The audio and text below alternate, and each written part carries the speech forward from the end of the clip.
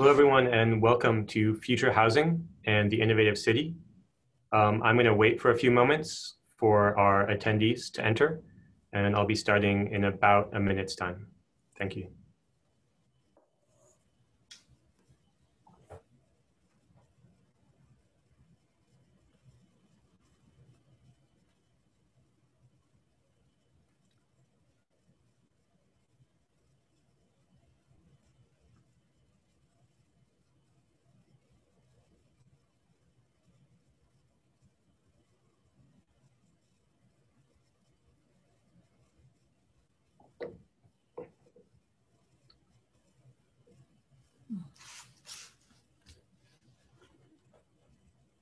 Okay, hello everyone and welcome. Um, this is Future Housing and the Innovative City. Um, this is an event uh, that is part of the Asia Pacific Architecture Festival. It is organized by the Singapore University of Technology and Design's Architecture and Sustainable Design Pillar. And this event is in coordination with the launch of our Inform Reform publication series, uh, issue two of which, uh, Housing Next, is now available. I'm Peter Ortner, I'm Assistant Professor for Architecture and Sustainable Design at SUTD, and I will be the moderator for today's discussion. In today's dialogue, we'll be reflecting on the changes the past year has brought for our cities and for urban housing, and asking how we may respond as town planners, urban designers, and architects in our future work. How urban housing can contribute to the innovative city is the guiding theme of today's discussion. We will ask if the past year's global experiment with telecommuting, instigated by the pandemic, will have long-term impacts, not only on the design of our homes, but ultimately also for the design of uh, innovative cities. I hope to also touch on the topics of resilience and public space during our discussion as time permits. Uh, I'm very honored to share our virtual stage today with two distinguished guests uh, joining us in our panel discussion is Dr. Ben Boucsein, Professor of Urban Design at the Technical University of Munich. Uh, Dr. Boucsein joined TU Munich in 2018, bringing expertise in the design of airport cities, uh, urban design, and architecture. Uh, the topic of his 2017 book, uh, Noise Landscape, featured these themes. He is founding architect of BHSF Architects, an award-winning practice with expertise in residential architecture and urban design. From 2005 to 2018, he was editor of Camenzind magazine. During this period, he earned his doctoral degree from the ETH Zurich and published the book Gray Architecture in 2010. He has taught and conducted research at the ETH in collaboration with Felix Claus and Kees Christiaanse. Our featured presenter today is Dr. Cheong Koon Hean, chairman of the Center for Livable Cities and the incoming chairman of SUTD's Lee Kuan Yew Center for Innovative Cities in June 2021. She was formerly the CEO of the Housing and Development Board here in Singapore from 2010 to, uh, to 2020, uh, overseeing some 1 million public housing flats. At the HDB, she introduced a new generation of well-designed, community-centric, sustainable, and smart public housing. Dr. Cheong was also CEO of Urban Redevelopment Authority from 2004 to 2010, and concurrently the Deputy Secretary of the Ministry of National Development from 2001 to 2016, with extensive experience in land use planning, urban design, conservation of built heritage, and the real estate market. She played a key role in major urban transformations locally and internationally, such as the development of Marina Bay and the master planning of Tianjin Eco City. She serves on numerous advisory panels, including the World Economic Forum, and is also the chairman of the Lee Kuan Yew World City Prizes Nominating Committee, board trustee of NUS, and a fellow for life and honorary fellow of the Singapore Institute of Architects and Institute of Planners, respectively. She's a current council member and former deputy president of the International Federation of Housing and Planning and global board trustee of the Urban Land Institute. In 2018, she was appointed the Institute of Policy Studies' fifth S.R. Nathan Fellow. Hmm. Dr. Cheong has received numerous awards, notably the Meritorious Service Medal for Outstanding Public Service, and is the first Asian to receive both the Urban Land Institute's Prize for Urban Visionaries and the Lynn S. Beadle Lifetime Achievement Award by the Council for Tall Buildings and Urban Habitat. Dr. Cheong, it is a great honor and a great pleasure to have you join us today. Uh, may I invite you now to uh, share with us on recent developments in urban housing and innovative cities.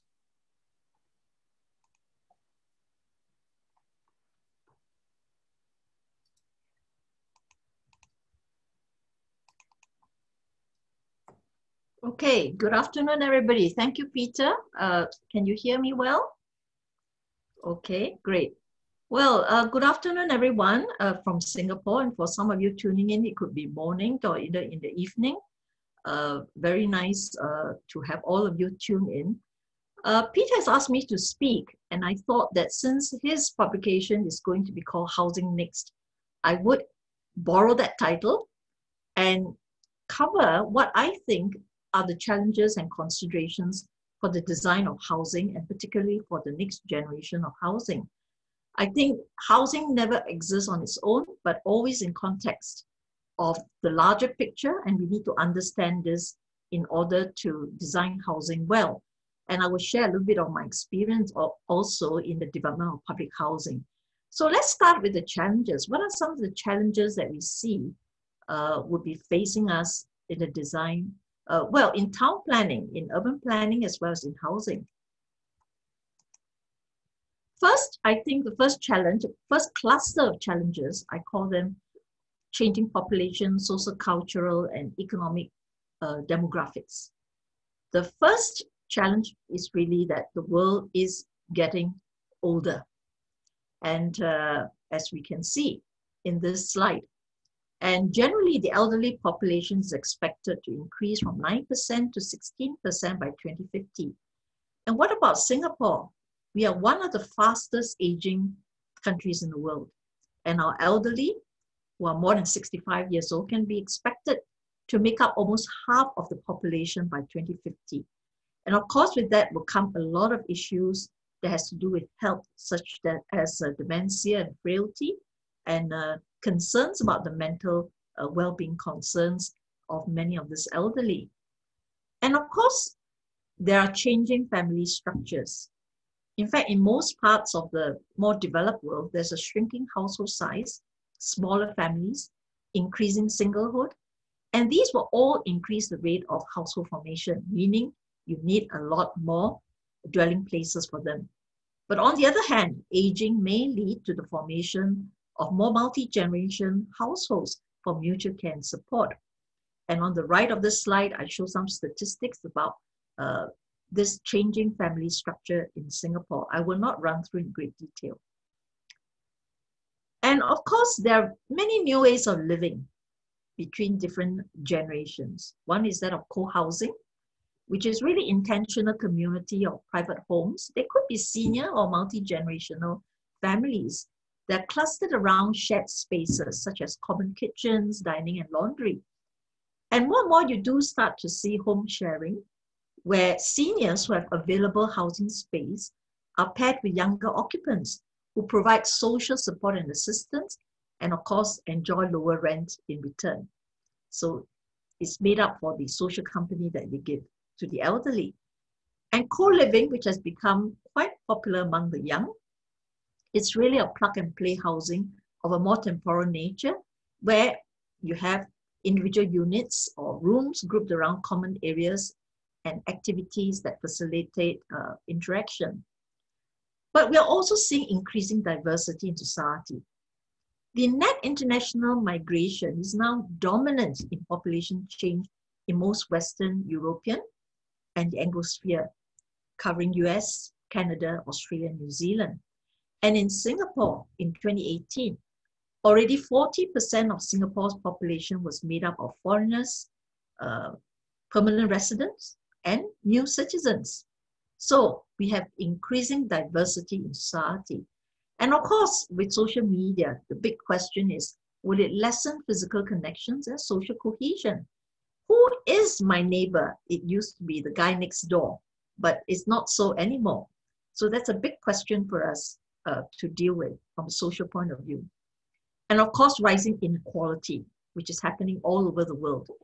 The share of national income going to the top 10% income earners have grown tremendously, as shown in the graph on the right. And there's a worldwide trend of rising inequality. The richest 1% actually own 44% of the world's wealth, and there's unequal access to housing and amenities and utilities. The urban population that do not have access to affordable and secure housing will grow from 1.2 to 1.6 billion by 2025. And this inequality is going to be further exacerbated by the digital divide. But people continue to have rising aspirations. Even in Singapore, where home ownership is so high, about 73% of the Housing Development Board flats, which is the public housing flats, uh, the residents below 35 years old aspire for better housing based on a recent household uh, survey that we did. And the housing aspirations of households in four-room flats or smaller has risen. The next grouping of challenges have to do with disruptions coming from climate change, environment and sustainability issues, and pandemics. Climate change means that there's an increase in global temperatures, rising sea levels, and intensity and frequency of storms and droughts, which we are all experiencing. And there's an urgent need to reduce carbon emissions in order to hold the rise in global average temperatures to below 2 degrees Celsius, as set out in the 2015 Paris Climate Agreement, although the world is not doing so well on this front. And post-pandemic considerations means that we have greater health concerns of density living, whether it's in workplaces, commercial spaces, and in our living arrangements. There's a change in lifestyles, more learn and work from home, e-commerce, lots of concerns about peak travel congestion, particularly in public transport, which you don't want during a pandemic. And there's a lot for us to think about in terms of future urban logistics, uh, whether it's because of the surge in deliveries or the surge in the type of waste that we're generating, all require new urban solutions. The third group of challenges are really about technology disruptions and opportunities.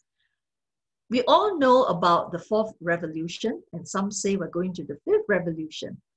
And with sensors, big data, analytics, Internet of Things, robotics, human augmentation, AI, sharing economy, and e commerce, it has completely transformed and continues to transform our lives. And even mobility trends with unmanned aerial vehicles and uh, AV, autonomous and electric vehicles, it all requires we think about how people move. What do we do about parking? May not be cars that we need to park, maybe they're drones, you know. And to rethink supporting infrastructure, you now need more charging points for electric vehicles, for example. So you have flying taxis by Uber, Amazon's delivery centers, uh, Amazon's flying warehouse. All these are being trialed. They're no longer just fiction. So for housing, what are the considerations? What do we think about with all these challenges and changes and disruptions? Well, there's definitely a need for stronger affirmation actions to provide affordable quality housing for a more inclusive and equitable society, given that there's widening inequality around the world. And there must be increased efforts on achieving sustainability, resilience, with a new focus on health and wellness. And we have to develop age-friendly housing and neighborhoods, not just for the elderly, but for all ages. This requires us to think about new typologies, review the type typologies we already have. Should there be smaller units, larger multi-generation homes, assisted living? Uh, what types of living arrangements? And more flexible space for work from home and learning arrangements. And it, it is also about designing to facilitate community bonding and social cohesion, and to rethink amenities and infrastructure which have to serve new lifestyles. And of course, we need to harness innovation, science, and technology in trying to achieve all these. So, so many things to think about. What do we do? Well, I like to just share the experience of Singapore's public housing program, which serves to provide affordable housing for a more inclusive society. We are mindful of these challenges and it's very much a work in progress. So I like to just share some of our experience in how we look at housing and how we try to deal with all these challenges. Singapore's public housing is unusual because it houses more than 80% of the resident population, know, 1.1 million uh, HDB or Housing Development Board flats in 26 towns and estates. And the unusual thing is that 94% of the people actually own their homes with only 6% rental. So Singapore has one of the highest home ownership rates in the world at more than 90%. And how do we make housing affordable? I think first, you have to safeguard land for public housing in all our long-term plans, which we do. Every long-term plan that we prepare, such as a concept plan, we safeguard land for housing and public housing. And we provide generous subsidies and grants. We allow people to pay their mortgages using a compulsory savings scheme. And we price the flats based on uh, income levels. And as a result, the house price to income ratio in Singapore compared with some of the global cities in the world is far, far lower. For example, Hong Kong is at 20.8, Singapore is at 4.7.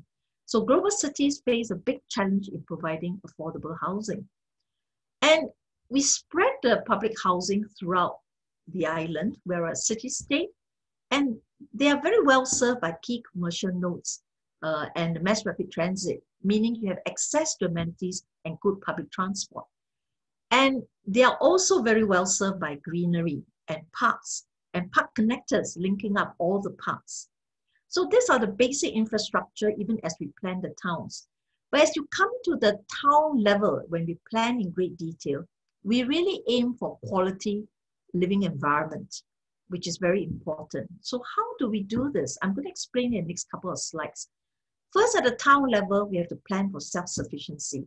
All the amenities you need for work, live, play, learn, served by a very good transport infrastructure. And one of the key features of the public housing towns is that it's planned as neighborhoods. Neighborhood concept comprising four to 6,000 dwelling units each in a neighborhood, which are further broken down into precincts of 600 to 800 uh, dwelling units each, served by precinct shops. So there's a whole hierarchy of facilities in the town uh, at the, the town center level, which are bigger to the neighborhood center, to the precinct level. They are all well served by amenities and well connected by public transport, cycling networks, walking paths, and sheltered linkways. And there's a whole comprehensive network uh, for walking and cycling. Now, as a result of this, we are able to, in the Land Transport Master Plan 2040, plan for 20 minute towns and a 45 minute city, making uh, Singapore movement around very, very convenient. Interestingly, the neighborhood concept turned out to be quite resilient during the pandemic because each neighborhood is really a self-sufficient bubble with amenities uh, which, within walking distance or you could cycle to them. And this completely puts less pressure on public transport, particularly during pandemics where you don't want the congestion. We use urban design to scout our towns. So if we have a clear strategic planning vision, we understand the urban design intent of creating distinctive characters, uh, being, bringing in public spaces, a blue and green environment. We can use all the tools of urban design. This is almost classical Kevin Lynch to actually design the town. I won't have time to go into detail, but we do look at urban design in great detail. And as a result, we can develop very quality, high quality urban design and innovative typologies, which require to be suitable for the context that we are planning for that specific town. Whatever typologies uh, there are, terrace models, courtyard models, uh, tower models, and of course a lot more. And as a result, these are the types of innovative building typologies for high density, high rise development in Singapore, incorporating skyrise greenery and recreation spaces, community living rooms, and lots of common spaces and interesting ideas like village clusters in the sky. This is a project done by WOHA, where you group 60 to 80 units as a group, and then they're each served by a garden in the sky. So these are interesting typologies. We look into very detailed design, offering a wide range of options for different budgets and needs and family structures, from smaller room flats, two rooms, all the way to three generation flats. Smaller flats for uh, singles or, or people who are just two persons, all the way to multi-family type flats. And lately we're introducing the community uh, assisted living apartments, uh, which will be launched and piloted very soon, where there are smaller studios, but having people share communal spaces. So these are assisted living for the elderly. And all our layouts, we are striving for them to be flexible. All the structures, columns are pushed to the sides, meaning that you can change a home for a home office, for a young couple, or for a family. The walls can be taken down and reconfigured. And you can many, many different types of layout. These are real pictures of public housing flats in Singapore. Unique interiors, home offices, open plans, and flexible layouts. Now we are moving into a focus on health and wellness. So in the new designs, we want to consciously facilitate active lifestyles and enhance design facilities to be more fun. Uh, try to motivate people to walk instead of taking the lift. We're combining a couple of car park rooftop gardens and we are going to introduce a sports circuit where you can run, for example, right? And we are very mindful that we need to foster a safe and inclusive environment, particularly for the elderly. So in the way you design, wayfinding, the use of colors become very important for the elderly as eyesights are, fade, are fading. And also designing for the uh, people who have more and more people having dementia. Wayfinding becomes absolutely important. We're only also harnessing green and blue to mitigate high densities, but we apply biophilic principles using flora, fauna, uh, soil, water to create better outdoor comfort, having designed landscapes with people in mind. Again, I won't have time to go into the biophilic designs, but we want to design to engage the mind, provide tranquil spaces for relaxation in a very high density environment. And lately, we're also converting a lot of the rooftops for urban farming to hit our goals to provide 30% of nutrient needs locally by 2030. And we are designing towns with urban farming, for example, at Tengah. And of course, we want to achieve a car lite Singapore, looking at greater emphasis on walk, cycle, ride, uh, piloting AVs. These are all real. We are going to pilot them very soon. Car-free town centers and bus transit corridors. And with accelerated e-commerce, we have to cater to new delivery patterns and last mile deliveries. We are rolling out an island-wide federated uh, locker network for collection of parcels. We're going to use drones more robots for deliveries as well. And in the design of the neighborhood center, we have to be mindful that there are places you want people to gather. So there are good mix of users. They have to be experiential to attract people, providing great public spaces for interaction and designing them to be green and sustainable. This is one of the latest new generation neighborhood centers. And neighborhood centers can be social and wellness hubs as well providing uh, healthier food choices, for example, locating uh, health types of shops for exercises, for cycling into these neighborhoods to encourage people. Lots of public spaces, town squares which are large for mass events, social verandas, tree-generation playgrounds for interstitial meetings, and community living rooms for every block for people to mingle and to interact. So we also need to harness science and technology in the use of all these. So for the Housing and Development Board, the HDB, we already worked on sustainable development frameworks since 2011, and then smart technologies in, since 2014, and then we introduced biophilic frameworks and principles in 2018, and going forward in the next 10 years with a big focus on holistic well-being. So all our towns are now planned with the help of computer simulations to look at wind flows to get better air quality, to model noise, to look at solar irradiance and sunshade analysis so that we know where to put our solar panels to optimize sunlight, for example. And uh, we have introduced many smart and sustainable initiatives. I won't go through, covering energy, urban greenery, waste and water, living environments, and building technology. In fact, the HDB is the largest driver for solar PV systems installation in Singapore through our Solar Nova program. And we're targeting uh, using renewable energy uh, to hit 540 megawatt peak by 2030, and you can power some 135,000 four-room flats uh, with such a generation of power. In fact, all the common areas uh, the electricity needs will be powered by solar PV. And of course, estate management, we are going to optimize the use of sensors. We have uh, developed a smart hub where we collect a lot of data from sensors for lifts, water pumps, lighting, irrigation.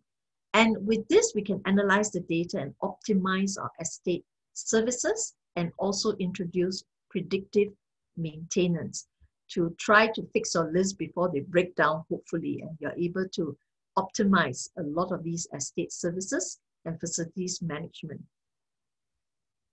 Now, it's also about smart living. We're going to bring in and make all our public housing flats smart enabled. And you can easily subscribe for Wi-Fi, broadband fiber we brought in. You can, uh, because it's smart and able, you can subscribe for elderly monitoring systems, utilities management systems, and telehealth with the pandemic, in fact, a lot of people shifted to telehealth. And because all our flats, you can get Wi-Fi, it was, uh, and using data plans, you can actually access doctors from home.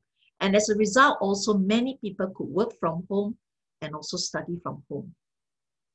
And our first smart precinct would be Punggol North Shore, which is completing these couple of months with all these smart applications being applied and the smart application also help us to derive our sustainability goals to save energy and water, to generate renewable energy through solar PV generation, and to increase the amount of recycled waste. So I think it's about also about uh, managing behavior and uh, uh, getting people to be uh, uh, more green because green towns really need green people. Well, I'd like to just close my comments by saying that trying to do all these, doing R&D is very, very crucial.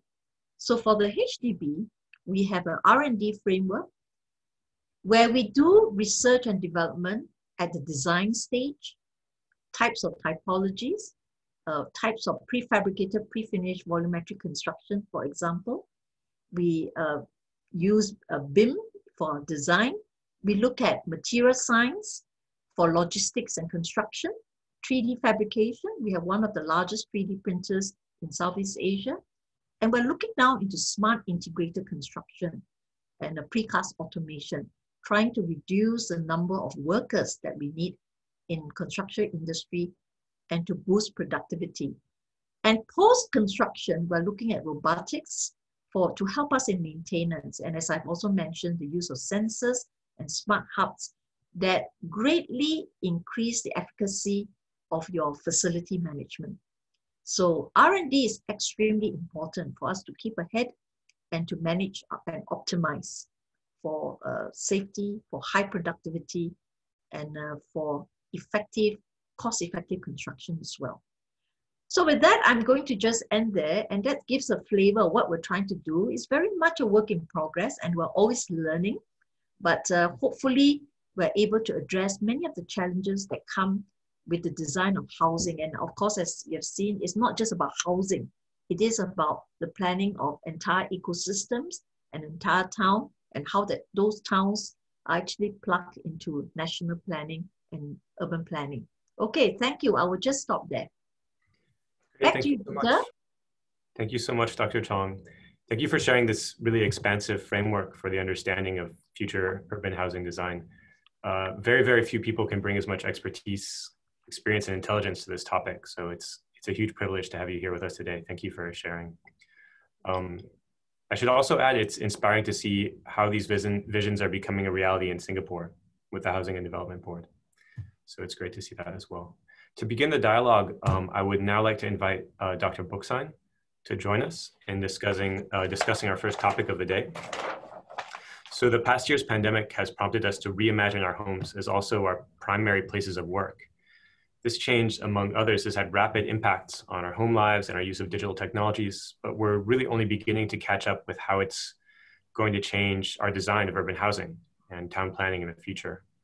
Um, so today I'm going to invite our uh, distinguished guests to reflect on how these changes should change uh, urban housing and to begin to also address the question of innovation can a telecommuting city, can a work from home city still be an innovative city? So on, on, uh, on the topic, on the first question on innovation, um, urban innovation is often described as relying on serendipitous contact between businesses, individuals, and ideas.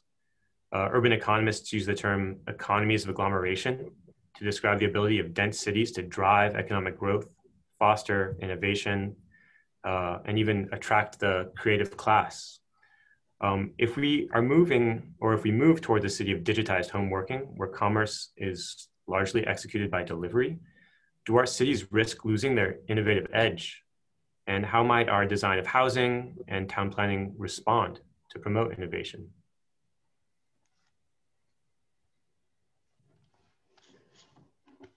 Maybe we can get Ben to share first. Since you've okay, thanks a lot. to me for half an hour.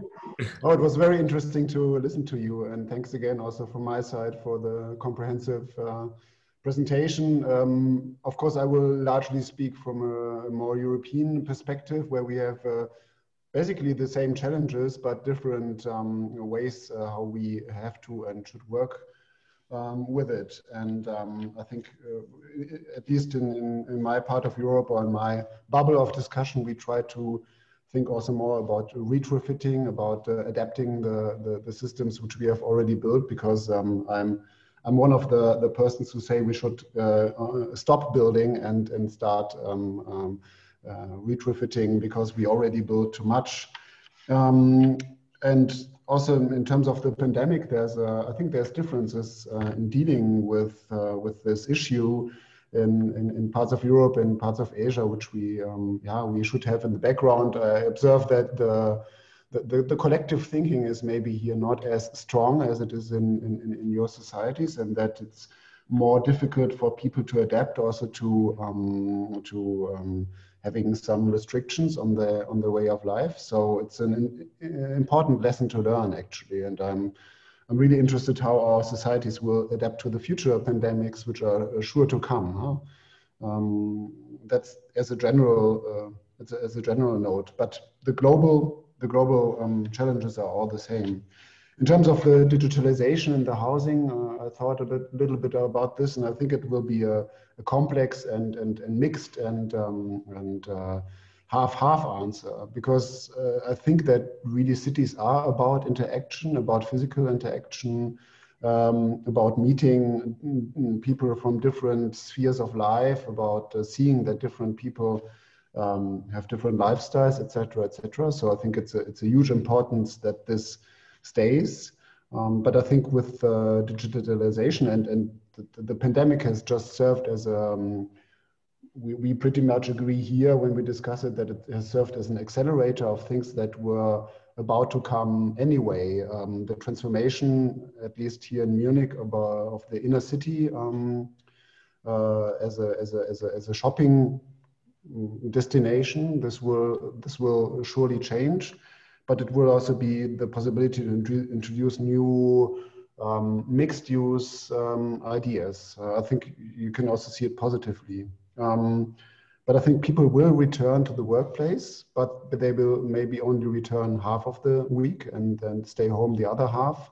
Um, this will um, alleviate some of the um, traffic congestion problems, maybe it will um, give chances to, um, to, to have different waves of, of movements at different times of day.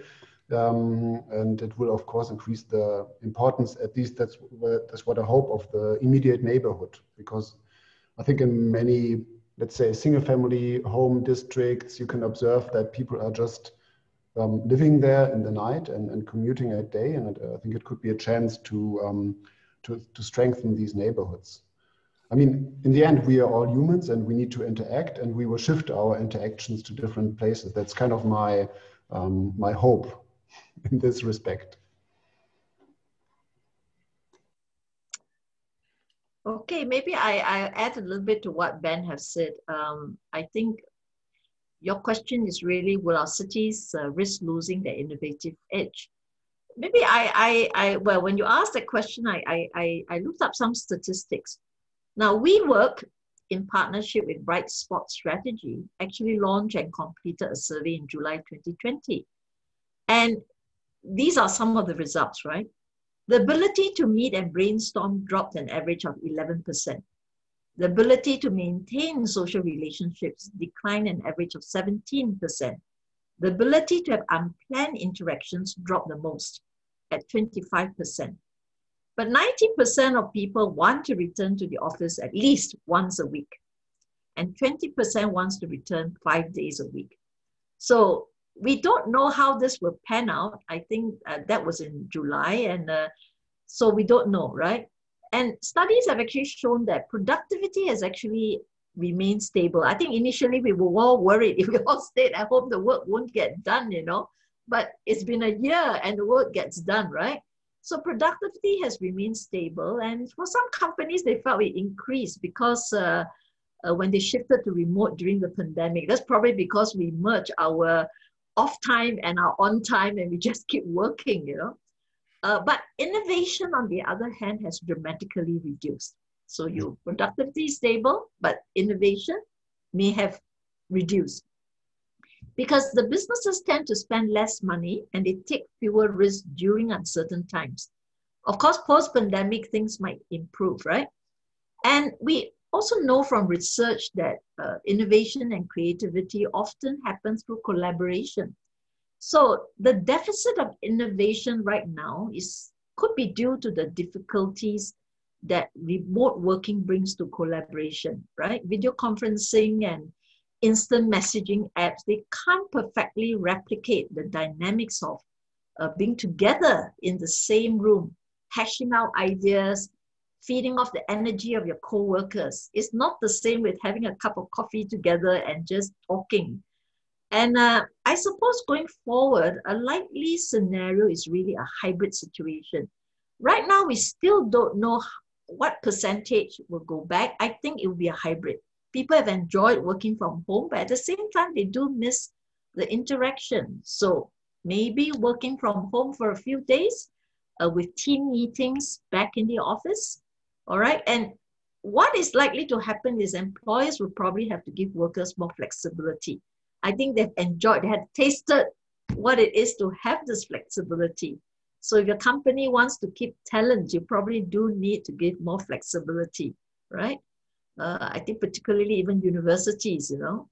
So, um, so what, what can we do with hybrid? I think you also said, so how do town planning respond to this innovation? I think we would just have to take it step to step, uh, step by step. But one idea really is, I mean, I was looking at the public housing towns that we have. The challenge is that uh, everybody lives at home and you have your children there and you're trying to work. You're sort of getting into each other's way. And to a certain extent, perhaps in the future, you might be able to provide some co-working spaces that are nearer to the home. So at least you could walk to the co-working space if you have a, a, a meeting, if you need to have a, a, small meeting, right?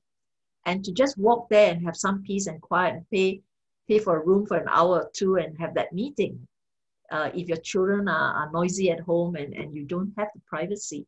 Uh, actually, it's quite interesting. One of my, my colleagues uh, from the social side told me that one of the challenges they had when people were working from home or staying at home was where, was that when they needed to do counseling, they needed to find a place that's private to actually counsel people.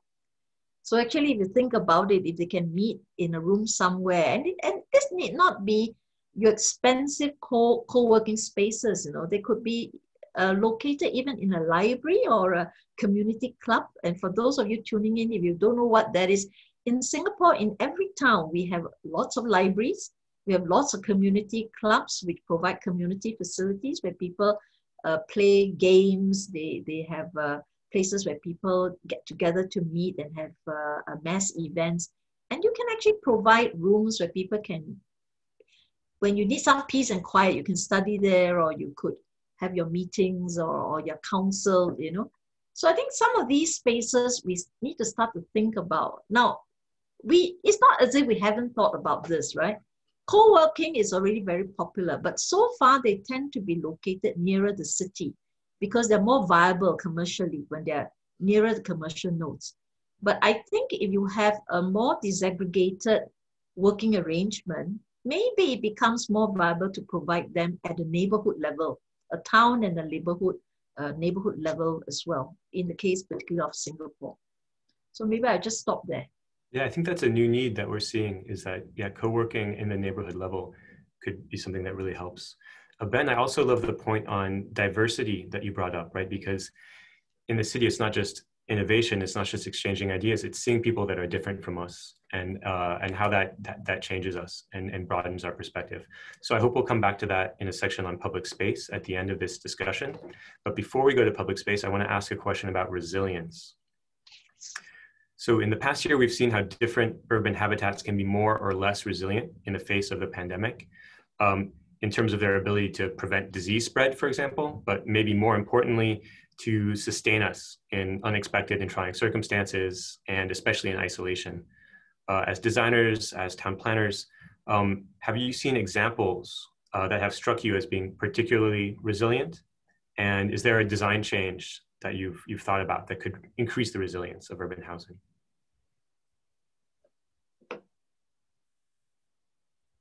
Ben, if you want to jump in, please. Well, the, the problem here was or is that, um, of course, uh, urban design is a very slow um, responding uh, discipline. So we, we calculate in tens or, or 20s of years. Um, but but maybe here I could bring in the, the observation, at least from some Central European cities, that we saw the ability to, to do temporary adaptations of public space. So it's, I think that, that housing is, is slow to change and it's more like an invisible uh, change that takes place.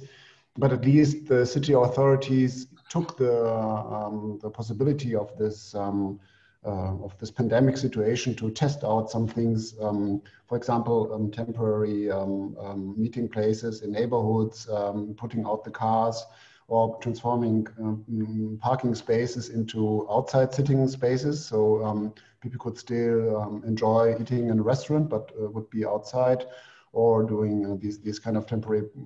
So I think that the main innovation that was observed is this, this testing out things which would otherwise take uh, 10 to 20 uh, years with without a certain uh, uh, outcome. You know, sometimes planning also is cancelled at the last minute because of some crazy um, thing. And I think that this type of uh, quick adaptation is uh, very crucial to um, to uh, the challenges we face in the future because we. Um, we we have the challenge that the the, the changes that also Dr. Cheong um, um, uh, indicated in the beginning, they're taking place so quickly that our paradigms are not able to, to adapt to it. So that would be my, my first answer. Yeah, just adding to what Ben have said, I think at the very macro level, the, the pandemic really uh, puts resilience right at the center of urban planning. And it makes us think through that we will have to plan in a way where uh, you have to be very flexible and adaptable in your urban planning. So what do I mean by that? So for example, you know, you you you may have to re, from, from both a planning, zoning point of view, and from, from both an architecture point of view, you would have to make sure that spaces can be converted very quickly, right? Don't worry about the zoning, you know when when we needed uh, lots of uh, uh, medical uh, facilities, you know, to have hospital beds, for example, or to quarantine people, you have to be able to make those conversions. So for architects, in terms of design, the more flexible a space can be, they are um, they are amicable to faster conversion of for many types of users, right? Whether it's for stockpiling of materials, conversion to manufacturing of masks or uh, hospital uh, medical facilities, correct? So I think the ability to be flexible in the conversion is important. And I think more and more we, well, this is the big question about densification, right? Uh, I do think that more and more people might move towards polycentric models mm-hmm. because uh, it spreads out density and it brings amenities very close to home. So that, you know, in lockdown is interesting, right? People lock down by countries, By states, like in Australia, you lock down, it will be the whole Victoria or, you know, separate from New South Wales by states. And some places like China, you may lock down by neighborhoods, right? But all this suggests that this cascading of planning into highly localized polycentricity and then a localization of amenities at a neighborhood neighborhood uh, level becomes really actually quite important, right? Giving you that flexibility and resilience when you need to impose uh, such situations without locking down the whole country. So something to think about. I think for Singapore, we've been doing that for years. So it's really more an acceleration of what we're doing. As Ben said, a lot of it is really an acceleration of some of these trends and the idea of promoting car lite and walk to ride initiatives. Now, this is only possible if you practice a distribution of amenities so that it is convenient to walk and it's convenient to cycle. If things are very far apart, you can't do that. And of course, we talk about innovative architecture for much more flexible uh, layouts, particularly in the home. And I think the idea of health and wellness and sustainability becomes very central in the whatever we plan or design or build. I think those are the key, big key things that will in, be in the mind of all of all the professionals dealing with the built environment. Again, not new, right? But it is more urgent now. We cannot just pay lip service. We have to do it yeah, it's so so not new, but that's the benefit of far-sighted planning is that the city has this capacity when there's a challenge to overcome it. So for me, I I rode taxis every day when I needed to go somewhere in Singapore, and then I discovered that there are bike lanes that can take me wherever I need to go to the East Coast Park. So there was a capacity there that I didn't know about, but when I needed to, I was able to rely on it. So I was I was I you know I appreciated that far-sighted planning. in my own personal life in the past year. Um, the, the final question I think that we'll take here is on public space. Um, the past year has frequently asked us to be together apart. Uh, public space, however, seems to feel to seems to work when we feel uh, safe among strangers and somehow engaged with and interested uh, with, go- with, with what's going on in our community around us. Um, in the past year, we've lost a lot of that, but we've experienced public, public space in different ways. Has the past year made you reconsider your personal definition of public space? Um, have you recon reconsidered how public space for residential neighborhoods might be redesigned in response to our, our recent experiences? Maybe you want to start this time. Please, yeah. No, please, you start. Oh, okay, all right. Well, in, in, in my sharing, I talked a lot about public spaces. And, and again, public spaces, there are many types at different scales, correct? Yes. And, uh, and I always speak in the context of very high density cities, which you find in most parts of the world, and particularly in Asia. Uh, so you need big public spaces and, and the time will come when we can interact again. And these are very important to help cities to be vibrant. But it is also about providing enough public spaces at neighborhood and even at the precinct and the block level, specific blocks of buildings where people can just get away. Uh, in a high density environment, public spaces are absolutely important to give people some respite and privacy and at times interactions.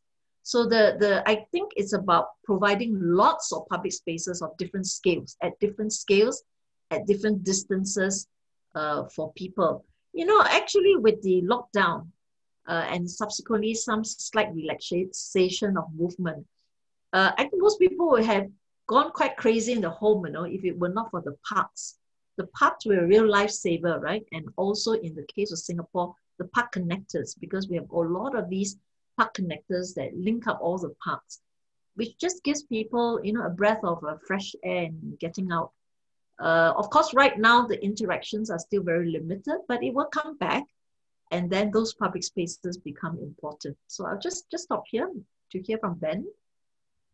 Yeah, I, I, I, could totally agree, and I, I sensed, um, of course, if we don't go for the really lockdown situation where everyone has to stay home, that that kills public space. But this was at least here the exception, like for two weeks, and then everyone was able to go out again, at least for a walk, to exercise, and I sensed a higher appreciation for public space, and maybe even an increased perception by the average citizen for this issue, because before you would have just taken it for granted or um, done it like in an unconscious way. But now people were really appreciating it, looking at it, using it. So I think it, it, it, it even increases uh, what public space means for the persons and they um, they really um, kind of investigate the neighborhood for possibilities to um, to, to stay um, and to meet in a distance, to talk in a distance, etc. So I think for the for the status of public space in our society could even be um, a positive um, thing. Just just one thing that that appeared to me also in, in this whole discussion about being locked down or commuting and so on and so on is a is a is a observation that was made uh, two or three decades ago by uh, by Italian scientist uh, Cesare Marchetti, who who came up with a constant. He said that you could observe in the in the history of mankind um, from the very beginning, from the Greek towns to today, um, an average uh, of the people moving in the cities of about one hour. Of course, per day. Of course, that differs, you know, from city to city, but the people want to move. They, they, they, um, we, we as humans, we have it in our DNA somehow that we like movement. We like to, to commute. So if you um, if you think about the, the future city, you will have to calculate with people having one hour of, of moving uh, in, in their daily lives. But the question is, how do you move? Do you move by foot? Do you move by bike? Or do you move by car or another like accelerated way of transport? So I think that the, the, the 20 minute city, a town, or the, the, the 50 minute city, these concepts are super important because they enable this this daily movement in in space in public space meeting people going somewhere um, without um, using so many um, resources. Um, yeah that that was that was just something that that came to my mind because i think we have to to keep it in mind. We we, we should not um, have the illusion that people will move less in the future but maybe they will move differently yeah, I, I like to just add a comment to what Ben has said. Um, I was in another webinar the other day and we were talking about 20 minute neighborhoods. Uh, you know, this idea, and suddenly it's become very popular, right? 20 minute neighborhoods, 15 minute towns. I think in Paris they're doing it, and then uh, the, the mayor wants that as a, an election, re election platform. Uh, and of course, in Melbourne, uh, that's done too, and many other cities. And in Barcelona, where you have the super blocks and the whole idea of now expanding the super blocks, what they did is just push all the roads of a super block to the peripheral for the cars, and then inside all the roads are converted to public spaces. And then now the mayor wants to, I think, grow it to 21 blocks, 21 super blocks. These are really good ideas. But you know, the idea of the 20 minute town is actually not a new one. It is about having a very walkable city. For decades, we've been trying to do that. And if you look at the European cities, they are highly walkable. The best was when there were no cars, they were absolutely walkable, right? And then came the cars, and then now we're trying to shift back. But I, I just want to say that to achieve it, you need actually quite long term planning. It doesn't happen overnight. Of course, there's both top down and bottom up. Bottom up, like Barcelona, you just create super blocks one at a go. That's one way in a, in a, city that's already existing. But I think if you have a chance, you should try to do it right from the beginning. The planning has to consider the walkability of a district or the city right from the beginning. Uh, otherwise, it's really very painful to, to act, try to achieve it. it. It's not so easy. But many cities have managed to convert uh, very quickly, but it needs a lot of will because you have to remove the cars. Yeah, and, and, and also is the land use. You can remove the cars, but you got to have the right mix of land users to make it highly convenient. So um, thank you both so much. We're now nearing, nearing the end of the program. Um, and uh, so before um, before we wrap up, I'd like to say thank you, first of all, to Dr. Cheong and Dr. Boucsein for so generously taking the time to, to join us, to share your thoughts and experience with us. Um, I'm very humbled to share the stage with you, uh, share the screen, I should say. And uh, on behalf of SUTD uh, Architecture and Sustainable Design, and on behalf of the Asia Pacific Architecture Festival, I offer my uh, heartfelt thanks. Thank you so much.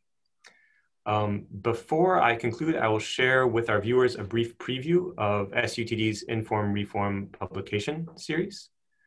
So the Inform Reform series explores the intersection of architectural design, uh, sustainability, and technology, and highlights groundbreaking new work at Singapore's Design University, SUTD. So I'm the author of issue two, which is titled Housing Next, this, is, this issue explores how urban housing will leverage new technologies to address challenges of sustainability, resilience, and social change. Um, I take the position that housing is a verb, uh, an ongoing accommodation of people's daily lives, the seasons, the growth of families, and the weathering of materials. Shifting demographics, a changing climate, and unsustainable waste of materials and energy are changing and challenging our ways of life and forcing our homes to evolve. So this collection of essays examines how housing will change in response to these contemporary challenges and examines three key drivers, new ways of living, new mobilities, and new materialities. Uh, informed by new technologies of mobility, construction, and building simulation, the book sketches a portrait of future housing capable of affording greater sociability, connectivity, and a circular economy of ongoing material reuse. It draws on best practice examples of high-rise, high-density housing from Singapore and from throughout the world. And I propose strategies for the next generation of architects to lead a broader coalition of stakeholders in the redesign of housing. So I invite you all to take a look. It's uh, uh, via Asia Pacific, Asia Pac publishers. There's a QR code here. And also to look out for future editions of the Inform Reform series. So in conclusion, uh, let me say thank you again to our distinguished guests. A big thank you to all of our viewers for joining us today. We appreciate your kind attention and we look forward to continuing the discussion in the near future on the design of sustainable, resilient, and innovative cities. A big thank you to Asia Pacific Architecture Festival for generously hosting this event. So this concludes our program. Thank you all so much and goodbye. Bye. Thank you. Bye.